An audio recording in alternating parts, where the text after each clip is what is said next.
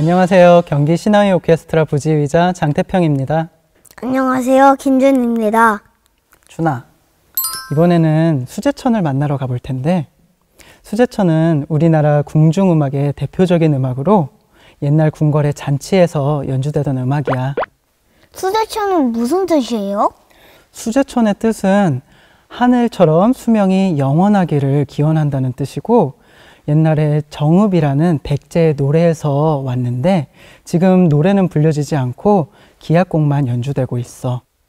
소금, 대금, 피리 같은 관악기랑 현악기지만 지소금을 낼 수 있는 해금 아쟁 그리고 박을 짚어주는 장구, 좌고가 함께 연주해. 그러면 우리 아름다운 수제천의 선율 들어볼까? 네, 좋아요.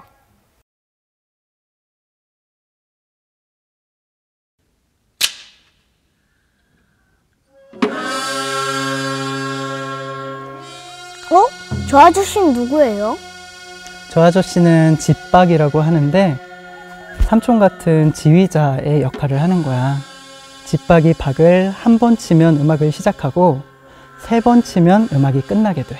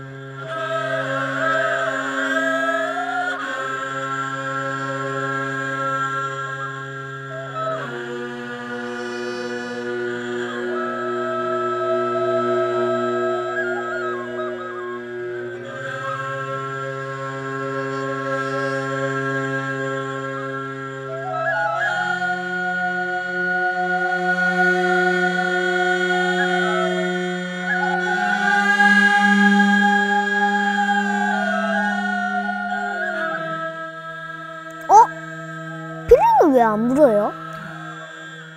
준이 진짜 잘 듣는다. 피리는 크고 우렁찬 소리로 수제천의 주선율을 연주하는데 피리가 잠시 연주를 쉬면 대금이나 해금 같은 악기들이 피리 선율을 이어받아서 연주를 해. 이것을 연음 형식이라고 하거든. 수제천의 선율을 아름답게 해주는 가장 큰 특징이야. 우와.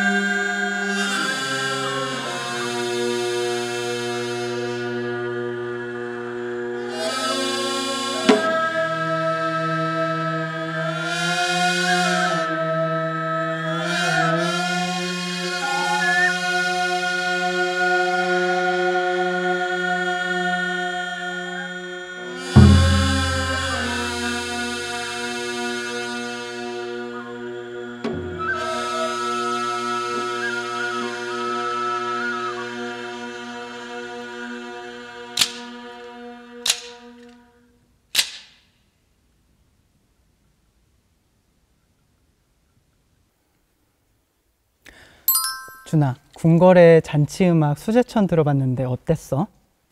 엄청 멋있었어요. 멋있었지. 네. 수제천은 웅장하고 아름다운 멋이 있는데 네. 외국의 평론가들은 네. 천상의 음악이라고 극찬하기도 했고 네. 우리 전통 음악의 백미 그러니까 최고라고 평가받기도 해. 아까 음악 시작하고 마칠 때 박을 치던 집박 있지. 준이가 한번 쳐볼까? 네, 좋아요.